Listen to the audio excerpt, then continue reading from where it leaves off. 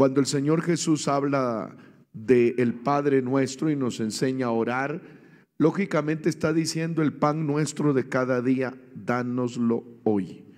Eso quiere decir sustento, eso quiere decir bendición y eso quiere decir, Señor, dame el pan. Pero a través de qué viene el pan? A través de qué? De el trabajo. Usted se acuerda, querido joven, señorita, eh, en los albores de la humanidad, cuando Adán y Eva pecaron, una de las sentencias que ocurrió por ese accionar negativo fue el siguiente. ¿Qué le dijo el Señor a Adán? ¿Sí se acuerda que le dijo? Con el sudor de tu frente, ¿qué? Comerás el pan de cada día. Y a la mujer que le dijo, ¿qué le dijo? Si saben, si han leído la Biblia, ¿qué le dijo? Aleluya. ¿Qué le dijo? Y a la mujer le dijo, con dolor darás a luz a tus hijos. Aleluya. Pero una hermana decía, pastor, en este tiempo no solamente damos con dolor a luz a nuestros hijos, sino que con el sudor de la frente también sostenemos el hogar. Bueno, eso fue lo que ella dijo. Aleluya. Los roles en el hogar, en la familia, son distintos tanto del varón como de la mujer. Pero como la sociedad ha ido cambiando, el papel protagónico del sostenimiento económico de una familia casi está en ciertos países en los que están más desarrollados, casi la actividad económica y laboral es prácticamente igual. En muchos hogares y aquí incluso en, en el Ecuador, en algunas ciudades, hay lugares donde él trabaja y ella también trabaja, donde él sostiene el hogar y ella también lo hace. Bueno, la palabra del Señor no es que limita, no es que limita que la mujer tenga una profesión y trabaje, no, no es así. Pero en el inicio, la actividad que Dios le determinó a la mujer es actividades de hogar. Incluso cuando el apóstol, aleluya, hace una exhortación o un llamado al rol de la mujer anciana, le dice que ella debería enseñar a quién? A las mujeres que más jóvenes, ¿a qué cosa? ¿Sí lo saben? A amar a qué? A sus esposos y a sus hijos. Bueno, algunos no lo saben, otros se han olvidado. Aleluya. Digamos gloria al nombre del Señor Jesús. Cuando nosotros entonces hablamos de vocación, vamos a definir este término. La palabra vocación es una traducción de una palabra latina y esa palabra original latina es vocatio, vocatio. ¿Y sabe qué quiere decir vocatio? Quiere decir llamado, llamado. Entonces podemos decir que cuando se habla de vocación, se habla de qué? De llamado. Hay términos que nosotros los relacionamos con mejor manera. Por ejemplo, cuando alguien dice invocar o cuando alguien dice invocación, está diciendo que hay un llamado dentro de esa acción. Cuando usted dice invocar el nombre del Señor, está llamando a la presencia del Señor por medio del nombre. Entonces, cuando una persona dice, es que tú tienes vocación para ser qué? Un arquitecto, un sastre, un ingeniero, un constructor, un chofer. En el sentido etimológico, quien responda así es porque necesariamente esa persona tuvo qué cosa? Un llamado. Y usted dirá, pero ¿cómo? ¿Cómo es que voy a sentir un llamado? Que hay una voz del cielo que me dice, Roberto, tú serás un ingeniero mecánico. O Damaris, tú serás una costurera. ¿Será que puede resultar así? Desde el punto de vista profesional y la orientación vocacional, eso no lo ven como positivo. Los orientadores vocacionales los psicólogos, los sociólogos, cuando hablan con un estudiante en formación, no le dicen, tú has escuchado una voz, alguien te ha llamado, tú has sentido un llamamiento para esa tarea.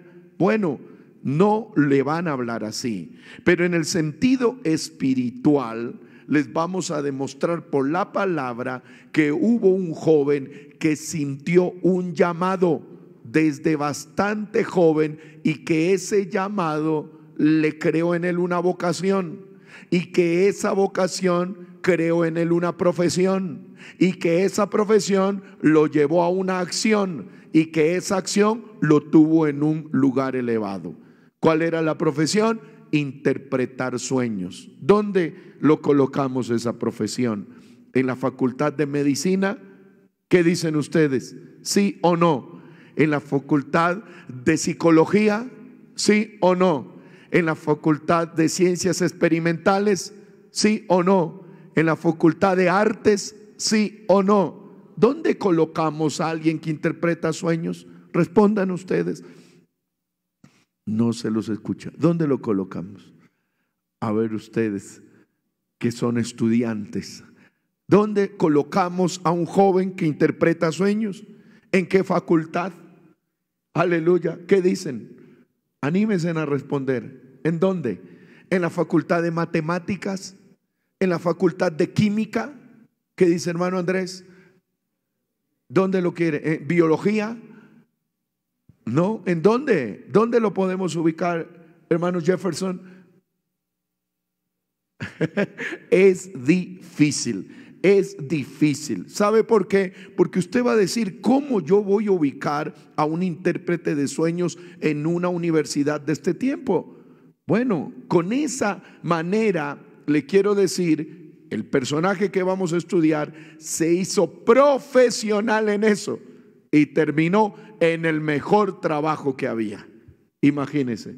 Les hago otra pregunta. ¿Las personas estudian por vocación o porque quieren trabajar en algo para subsistir. ¿Qué dijeron los encuestadores? Según estábamos escuchando, que dicen que el 80% de las personas que laboran no están de acuerdo con su trabajo, no se sienten bien con su trabajo. ¿Verdad, hermana Josie? No se sienten bien. Entonces, ¿qué estamos diciendo? Que hay una gran cantidad de profesionales que no están, ¿qué? No están contentos con lo que están haciendo. Bueno, entonces, ¿cuál es la solución? Bueno, aunque algunos, seguro que aquí hay algunos profesionales que están escuchando la palabra, algunas personas de cátedra, algunos orientadores, con mucho respeto para todos ellos, porque en el Evangelio aprendemos a respetar las profesiones de todos. Pero vamos a hablar el punto de vista del llamado y la vocación para el servicio. Diga gloria al nombre del Señor Jesús. Aleluya. Antes la palabra del Señor nos da una explicación para no confundir los términos. Primera de Corintios capítulo 1 versículo 18. Qué bueno tener este diálogo de carácter vocacional y de servicio. Porque la palabra de la cruz, leamos Primera de Corintios 1 18, porque la palabra de la cruz, ¿qué es?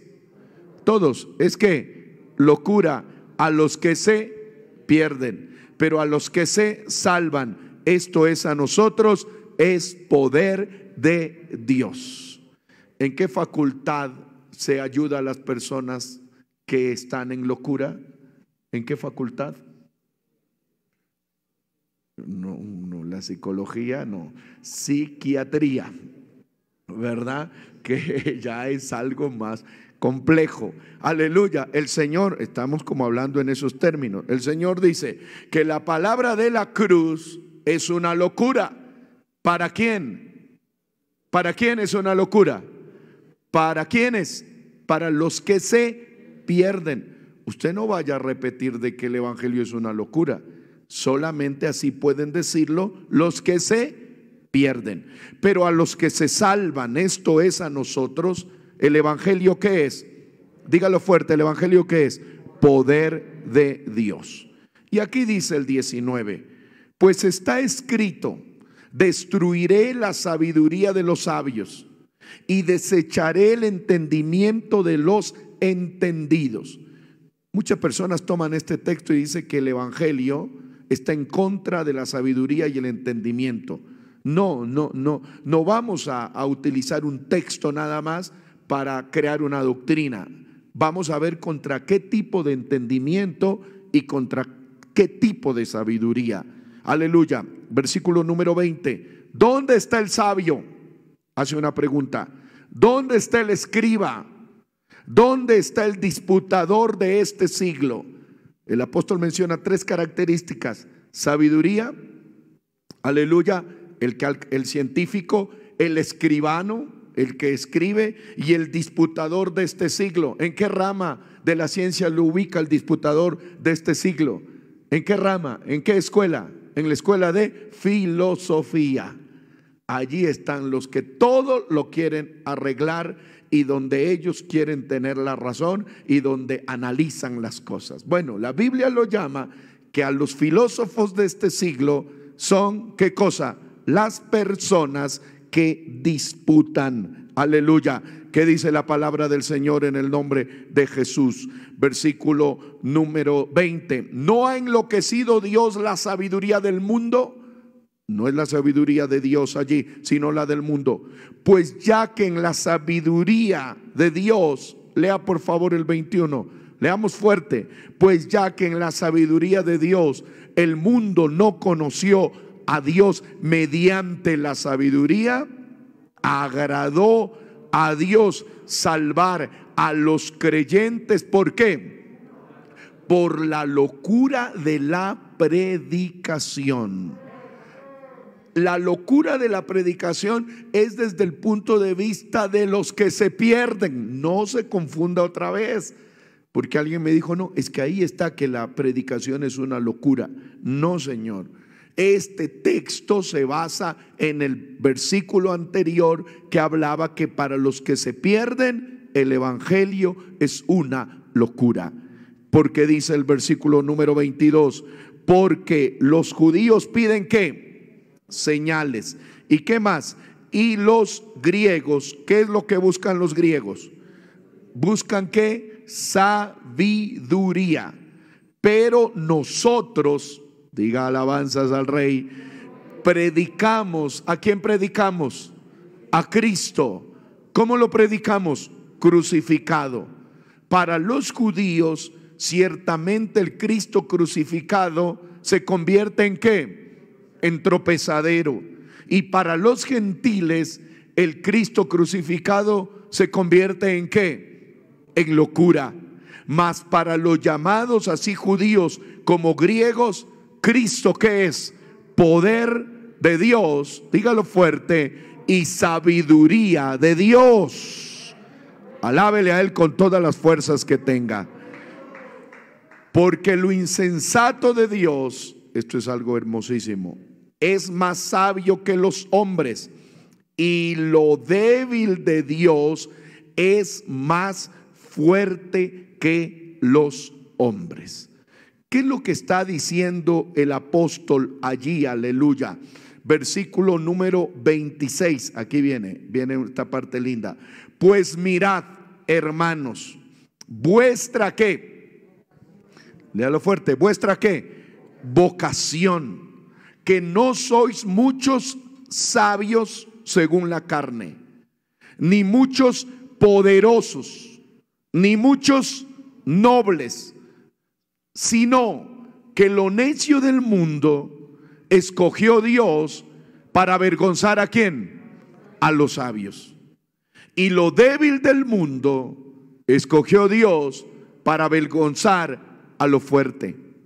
Y lo vil del mundo y lo menospreciado del mundo escogió Dios y lo que no es para deshacer lo que es, a fin de que nadie se jacte en su presencia, mas por él estáis vosotros en Cristo Jesús, el cual nos ha sido hecho por Dios sabiduría. Adórele, justificación, adórele, santificación y redención, para que, como está escrito, el que se gloría, gloríese en el Señor. Puede levantar las manos y dar gloria a Dios con todas las fuerzas. Dele un aplauso al Rey de Gloria con todo su corazón. Aleluya.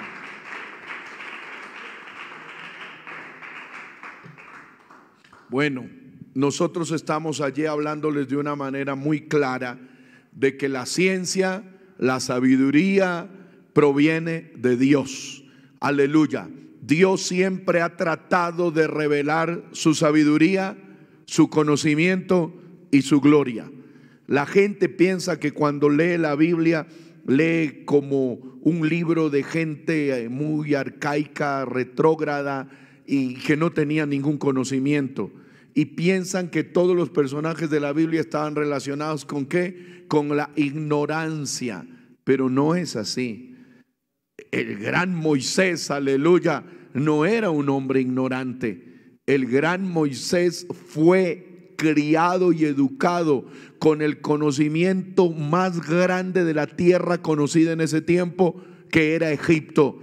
Fue el hijo de la hija de Faraón y desarrolló conocimientos en ciencia, en ingeniería, en construcción, en astronomía. Una gran cantidad, aleluya, si lo ponemos a él, él había desarrollado una gran cantidad de conocimiento.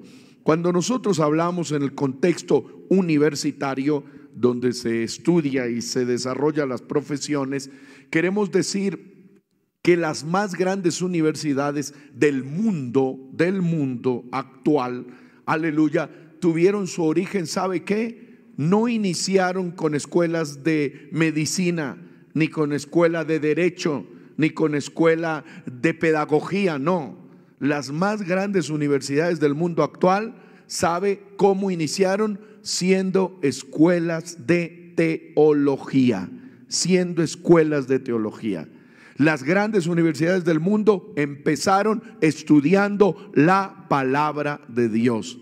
Para eso ellos empezaron a hacer aulas y reunir a personas para poder estudiar la palabra de Dios.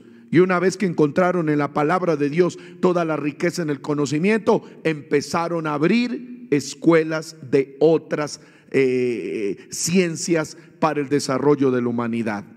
Por ejemplo, eh, en la reforma hubo un movimiento universitario que prendió las masas en Alemania. De los precursores de ese movimiento de la reforma nacieron, la reforma nace en gran parte en las aulas universitarias.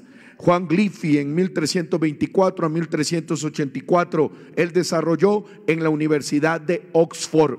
Juan Hus de 1374 a 1415, él desarrolló sus conocimientos y propagó la fe en la Universidad de Praga.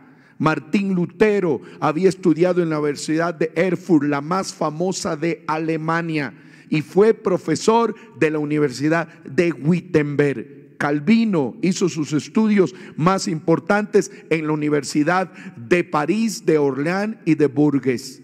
Quiere decir que estas personas que analizaban la palabra de Dios estaban haciendo de las aulas centros de avivamiento, porque habían comprendido que de Dios habían recibido todo el conocimiento, toda la ciencia y toda la bendición. ¿Cuántos pueden darle un aplauso al Rey de Gloria? ¿Cuántos pueden darle un aplauso al Rey de Gloria con todo el corazón? Adórele al nombre del Señor Jesucristo. O sea que muchas personas en este tiempo en las universidades dicen, no, es que el Evangelio es para el que ignora. El Evangelio es para el que no tiene lectura. El Evangelio es para... Y se jactan pensando que ellos son sabios. Hay que hacerles comprender por la historia de la humanidad que las más grandes universidades y prestigiosas del mundo actual, recuerdo, tuvieron su inicio, aleluya, estudiando teología, la palabra del Señor. ¿Cuántos se llenan de gozo al saber esto? Diga gloria al nombre del Señor.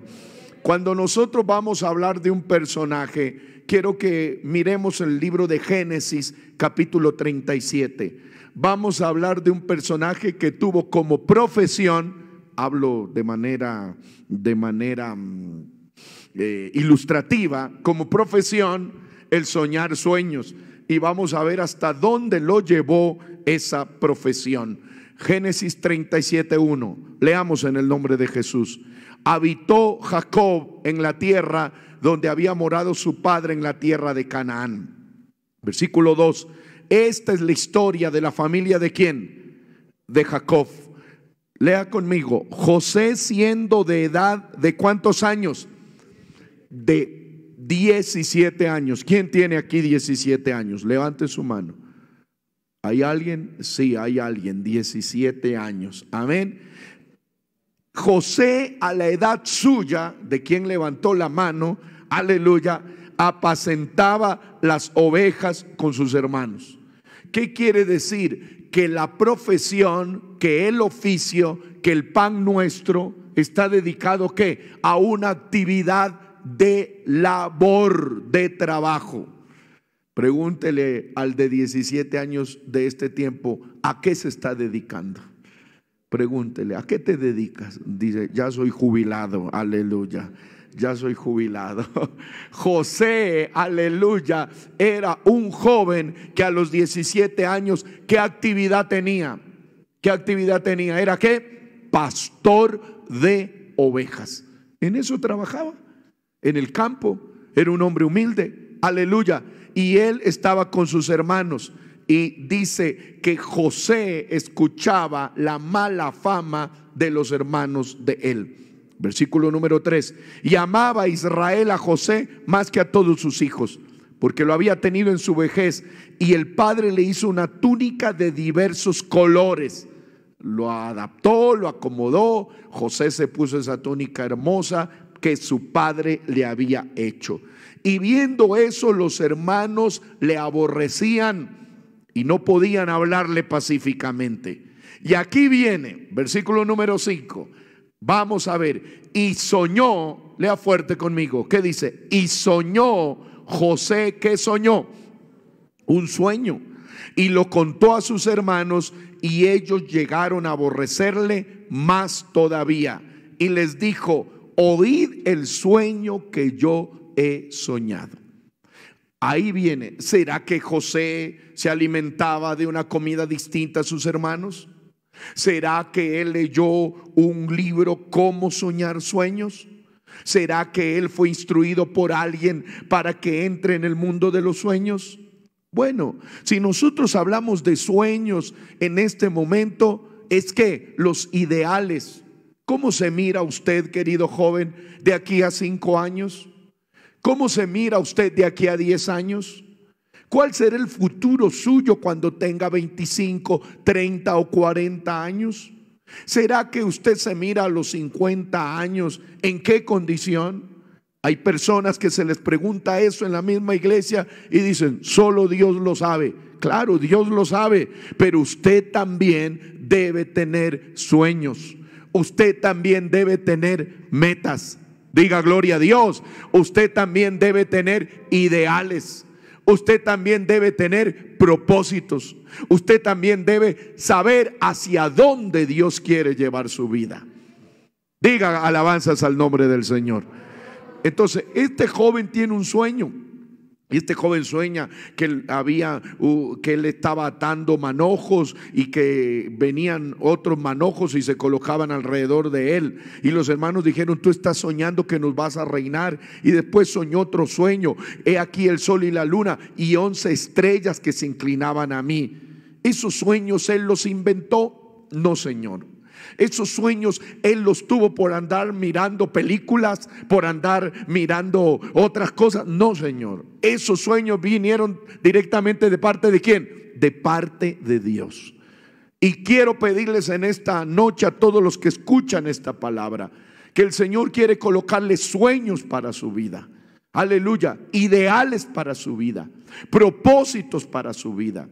Por eso estuvo muy bien eh, eh, el análisis que hicieron los jóvenes, cómo presentaron los sueños. Creo que ellos decían que todos los niños menores de cinco años en su gran cantidad quieren ser qué? Bomberos, quieren ser militares. Y ellas quieren ser qué? Enfermeras. Ellas quieren ser algo que ayuden a la sociedad. Pero imagínense, si todos los sueños de los niños menores de cinco años se habrían cumplido, el mundo estaría lleno de qué? De bomberos y de soldados. Pero eso no es así. A medida que va pasando el tiempo, el joven tiene que otros sueños, otros ideales. Muchas veces dicen los seres humanos, no, yo no quiero ser esto, yo no quiero tener tal actividad, yo no quiero tener tal profesión. Pero sabe que el Señor le está invitando para que usted tenga que un sueño, una ideal, un, propósito, un anhelo. Diga gloria al nombre del Señor. Diga gloria a Dios. Dice que los hermanos de José, cuando escucharon de ese sueño, le tenían mucha envidia.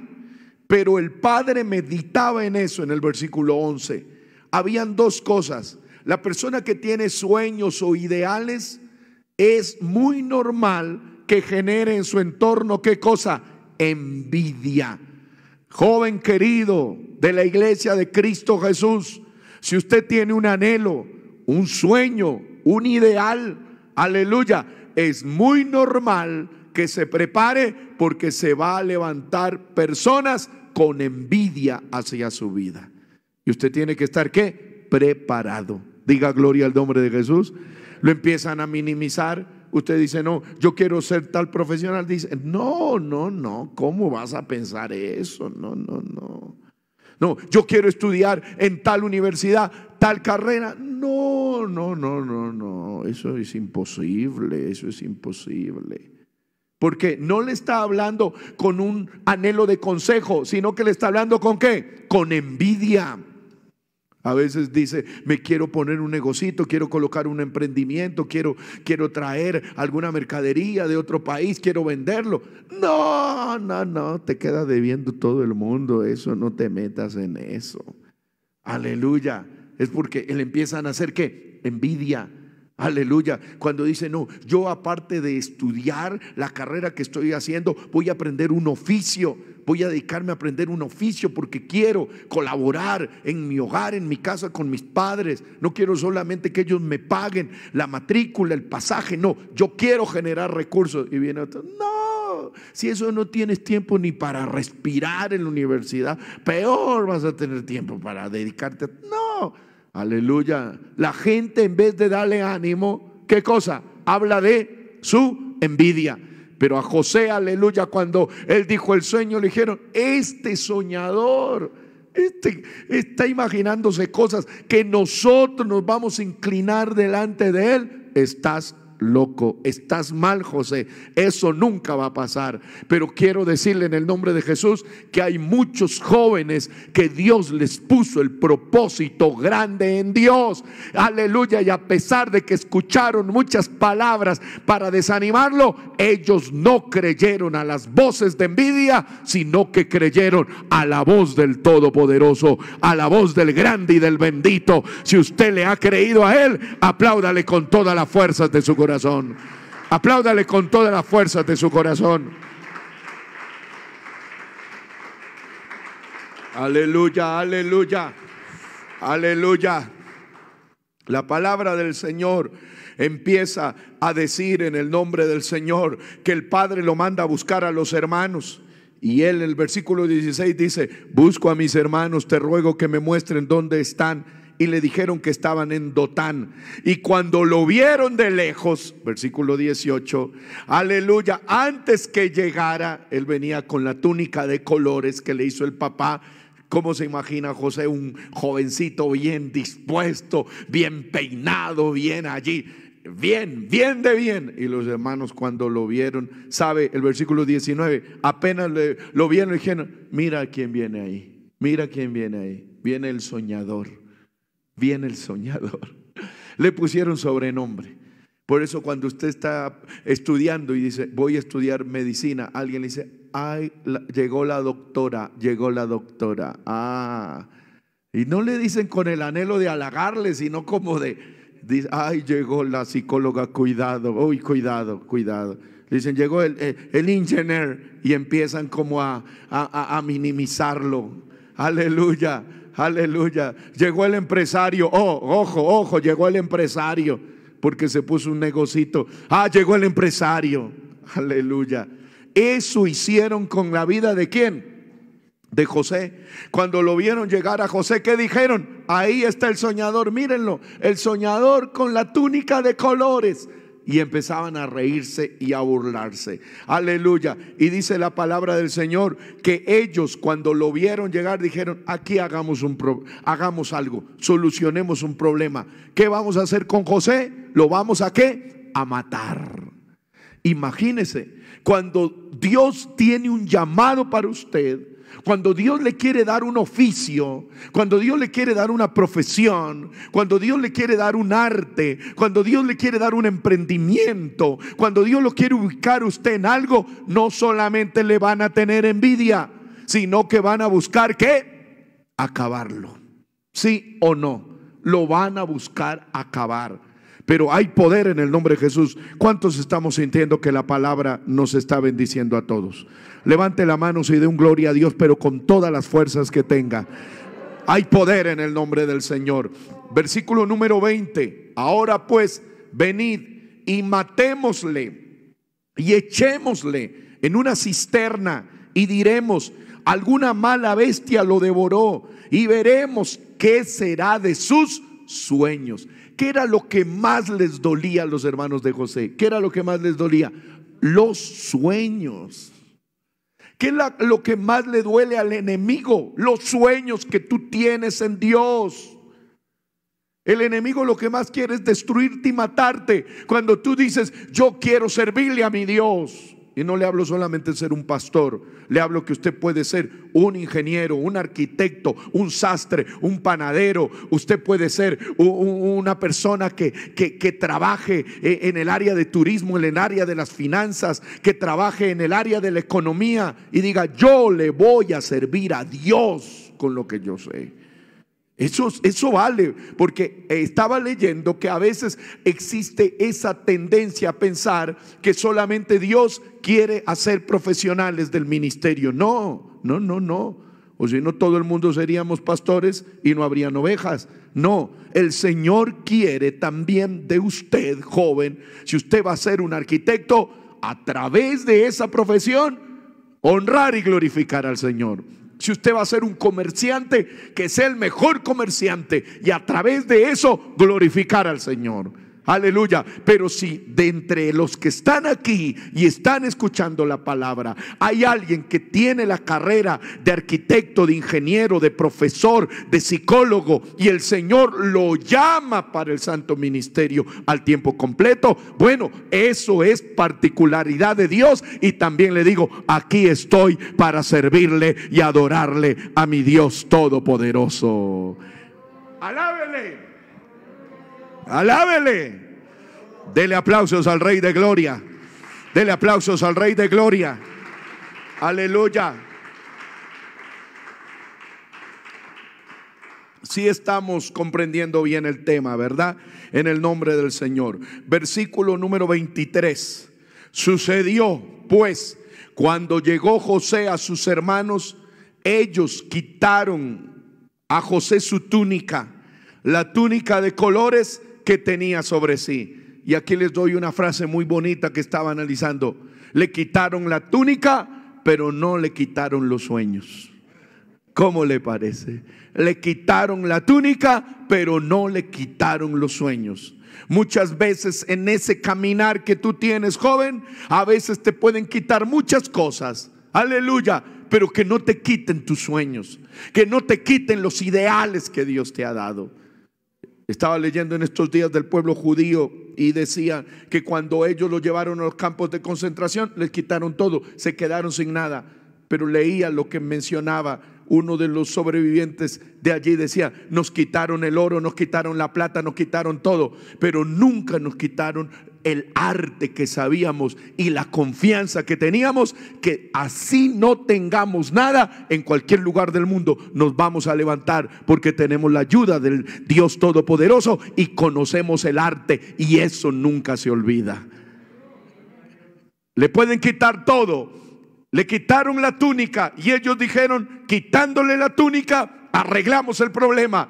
Aleluya. Pero no, no, aleluya, el Señor la túnica que le dio José, que recibió José, fue confeccionada por su padre con sus manos, pero el arte de interpretar sueños no lo dio su padre terrenal, sino que lo dio su padre celestial. Y a él sea todos los aplausos, a él sea toda la gloria y a él sea toda la honra. Adórele. Adórele, adórele, adórele, adórele. Oh, aleluya. Cuando lo colocan en la cisterna, la cisterna estaba vacía, lo venden a los madianitas y se lo llevan. Aleluya. Pero no sabían qué decirle al padre. Entonces toman la túnica, la manchan de sangre y el padre rasgó los vestidos, puso silicio sobre sus lomos y guardó luto por muchos días. Ellos, mire, qué corazón, qué corazón. Y son los padres eh, de la nación, ¿verdad? Pero esta acción que tuvieron fue tan negativa. ¿Cómo engañan al padre? ¿Cómo manchan la túnica de colores? ¿Cómo le dicen que muere? Pero ¿sabe qué? José, aleluya, el sueño, el ideal que Dios le había dado a él, no se podía ir con nada por eso en el libro de Génesis 39 les quiero decir que en la vocación que Dios te dé, tienes que ser fuerte para vencer la adversidad. Porque José fue llevado a Egipto, aleluya, a Potifar, oficial de Faraón, capitán de la guardia, varón egipcio, lo compró de los ismaelitas que lo habían llevado allá. Y aquí le doy un dato que le va a servir. Hay muchos jóvenes en la iglesia que estudian algo y apenas tienen el título, ya quieren ser gerentes. Ya quieren, quieren que les den un lugar en el estacionamiento, ya quieren que los ubiquen de jefes y ya quieren ganar el sueldo como de un gerente. No es así. José tenía un grado de humildad tan tremendo que, aleluya, este hombre, a pesar de haber sido libre, cuando sus hermanos lo venden, aleluya, lo venden como un esclavo se convirtió en una qué? En una mercancía. Pero José no renunció al propósito de Dios con él. Cuántos, muchos, muchos jóvenes de la iglesia, aleluya, para pagarse sus estudios han tenido que trabajar en condiciones bastante adversas han tenido que ir a vender productos y han tenido que caminar, han tenido que andar en bicicleta, han tenido que aguantárselos. Un día un joven me dijo, mire, yo iba a estudiar pastor en la universidad y le cuento que yo me pagaba los estudios, la matrícula y a veces no tenía para el pasaje y tenía que caminar 20 cuadras de ida, 20 de vuelta y mis compañeros comían hamburguesas, salchipapas, tomaban gaseosa y yo no tenía nada. Pero ¿sabe qué? Yo sabía que algún día iba a terminar mi carrera y que Dios me iba a bendecir. Cuando alguien tiene ese carácter, aleluya, es prosperado. Yo no lo veo a José renegando y diciendo, mira cómo Dios estoy en esta condición. Estoy en una condición de esclavo, no tengo nada. Pero acuérdese, no puedes tener nada físicamente, pero si tienes al Dios Todopoderoso en el alma, tu estado posterior será mucho mejor, porque con Él somos más que vencedores por medio de Cristo Jesús, que nos amó, que nos salvó y que nos bendijo. Alabanzas, alabanzas y, la carrera de un profesional, la carrera de alguien que sabe un arte, no es siempre victoria y victoria y victoria. José llegó a una posición, agradó a los ojos de Potifar su responsabilidad y entonces lo colocan de mayordomo y le dejaron a cargo todo lo que tenía. Pero cuando estaba a cargo todo lo que tenía, viene la tentación todo profesional, todo joven, toda señorita que va a desarrollar un emprendimiento, que va a estudiar en un colegio, que va a estudiar en una universidad, que lo llevan a trabajar en una empresa, que lo llevan a trabajar en fábrica, siempre va a ser, aleluya, objeto de tentación.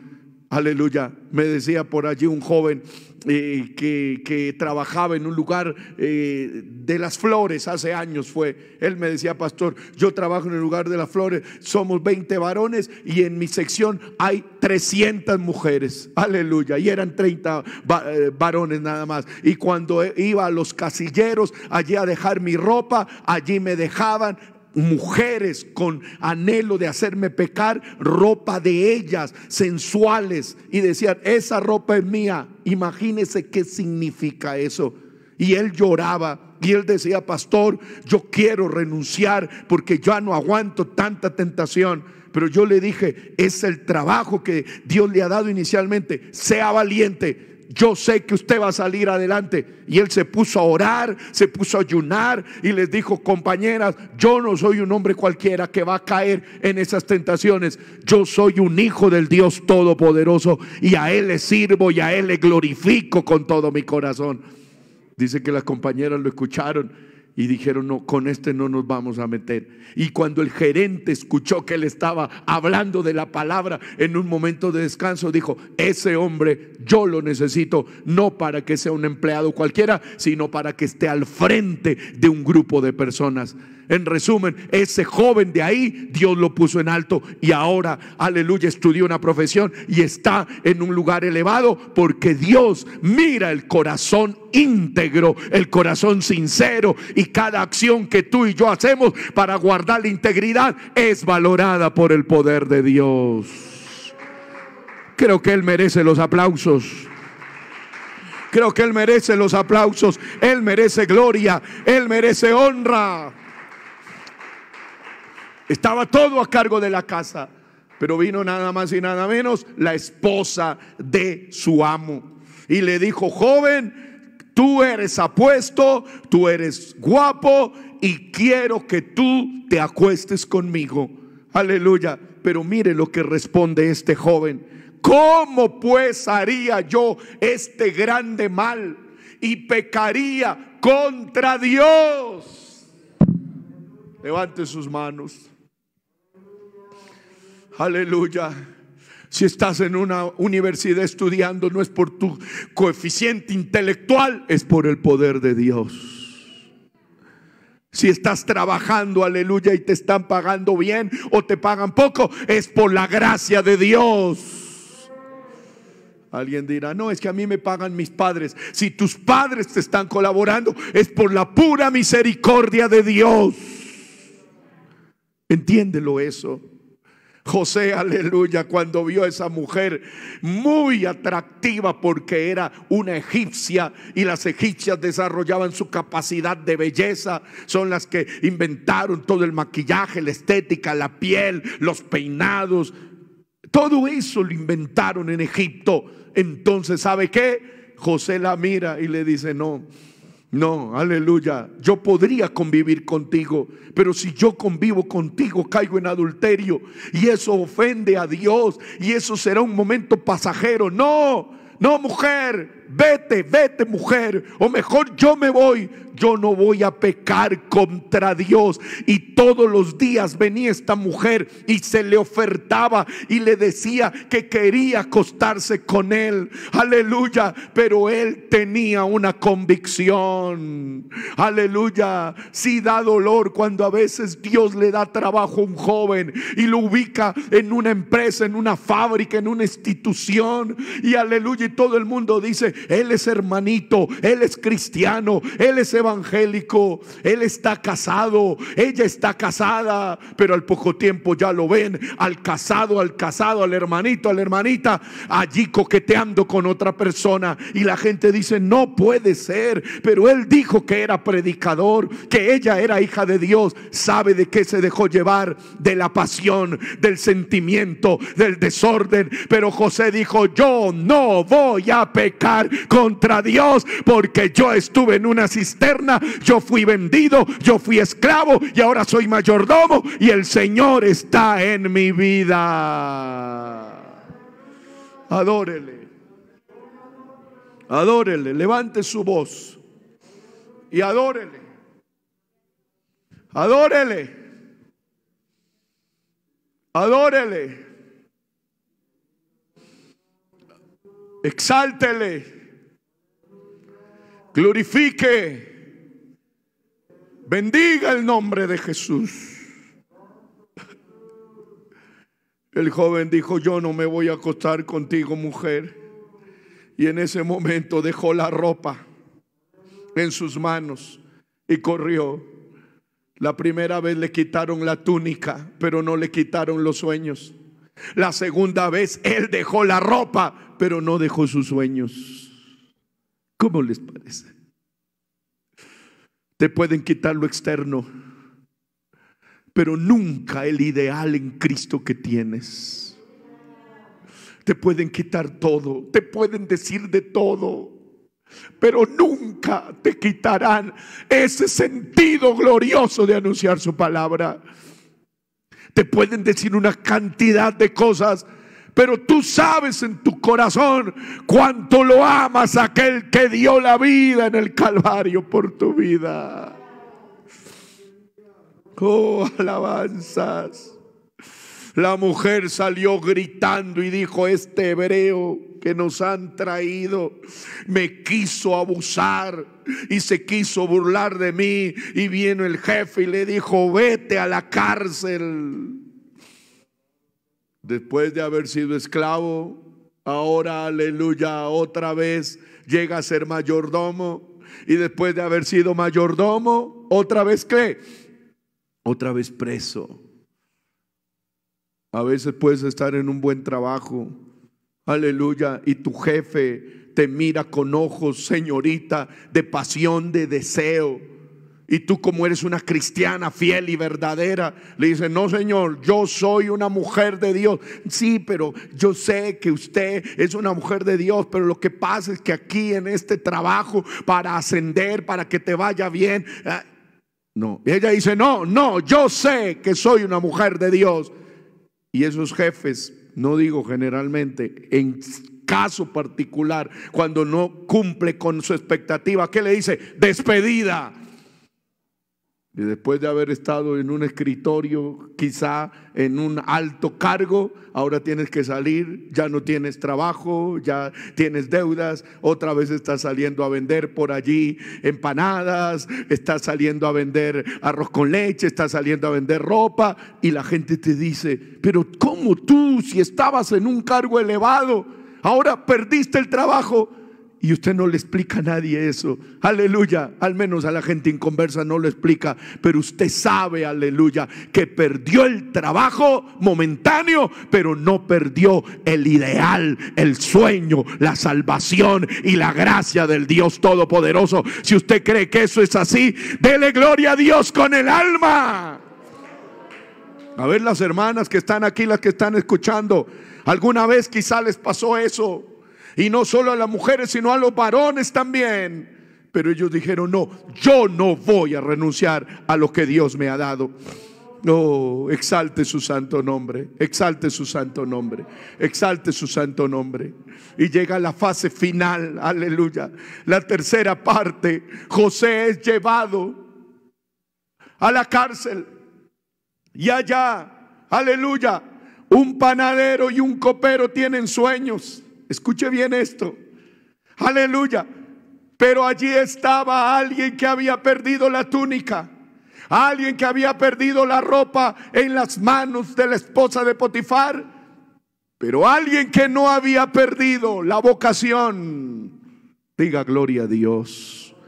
Alábele a Dios, querido joven, con libertad, querido hermana. Le estoy diciendo que perdió la túnica, que perdió la ropa en las manos de la esposa de Potifar, pero no perdió la vocación. No perdió la vocación. No perdió la vocación. No perdió la vocación. Aleluya. Y cuando un día él estaba por ahí en cárcel, dicen, hay un panadero y un copero que tuvieron unos sueños. Y él levanta la mirada y él dice, yo puedo interpretar eso.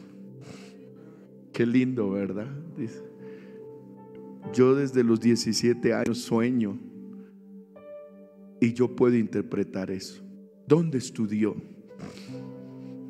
¿En la mejor universidad ranqueada en Egipto? Él estudió allí, no. Él no fue becado a la mejor universidad de Egipto. Él fue como esclavo, vendido por los madianitas. No estoy en contra de la preparación y estoy motivando a que lo hagamos. Pero sabe que hay cosas que no te enseñan en la universidad. Hay cosas que no te enseñan en el instituto. Hay cosas que solamente te las enseña nuestro Dios Todopoderoso cuando estás con Él. Inclina tu rostro. Hay cosas que no están en la trigonometría, que no están en los planos cartesianos. Hay cosas que no están en los libros de historia. Hay cosas que no están en los libros de pedagogía. Oh, adórele.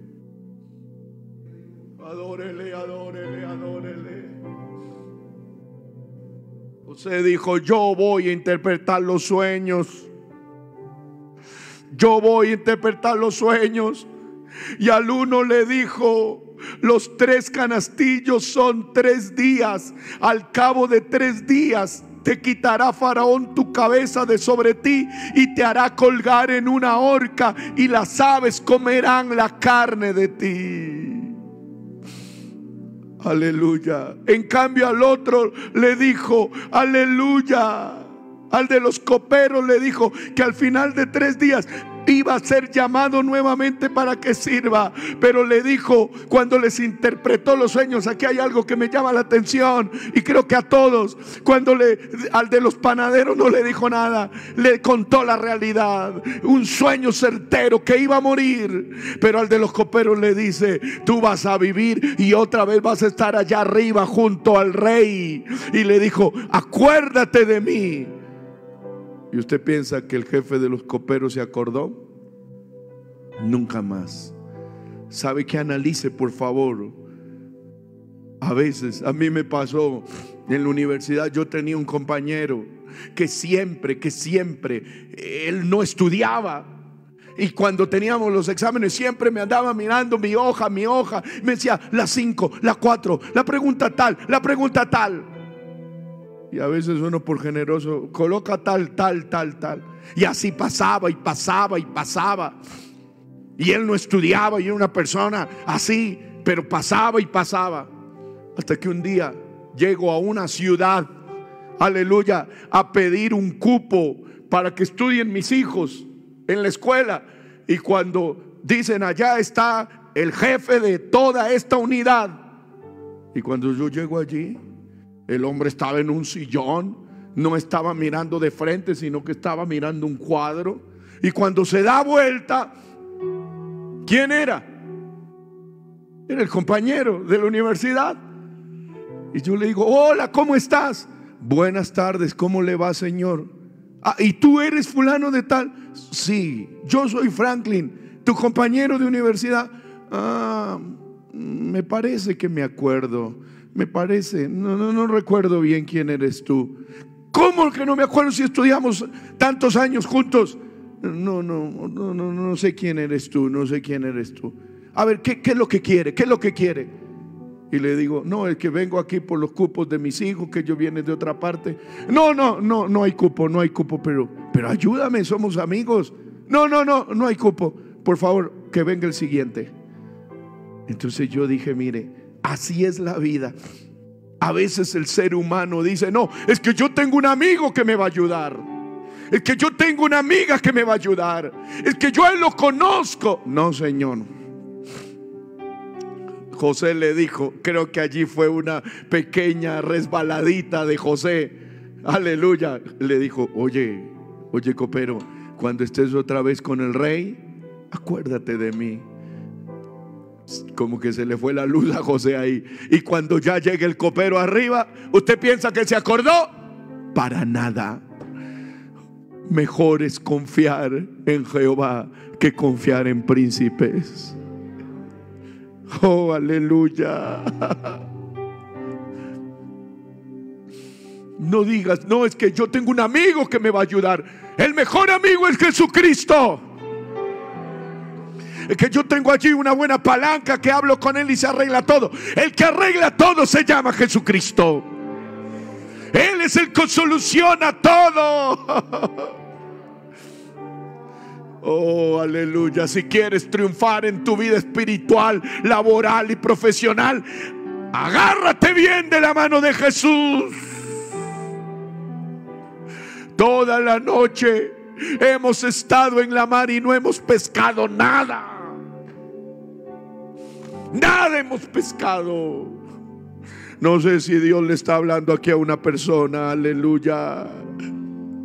Oh, alabanzas a una persona que quizá le ha ido últimamente mal y no has logrado nada, te metes en negocios, te metes en esto, en lo otro y no logras nada. Clámele a Dios los que están aquí, les pido en el nombre de Jesús. Clámele a Dios los que están aquí, los que están en casa y no has logrado nada. Pero sabe que aplauda la batalla. El Señor les dijo, vayan otra vez ingresen mar adentro, boguen mar adentro. Y cuando estén mar adentro, echen otra vez la red.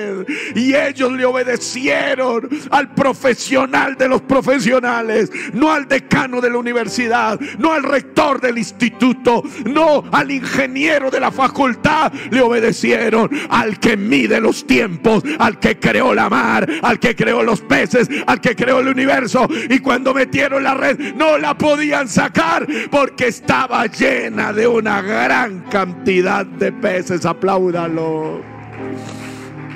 Apláudalo, apláudalo, apláudalo, apláudalo. Alabanzas, alabanzas, alabanzas, alabanzas. Levante la voz. Levante la voz. Ya no era un sueño de José. Ya no era un sueño del copero. Ya no era un sueño del panadero. Ahora, ¿quién tuvo un sueño? El faraón. Nadie le podía interpretar.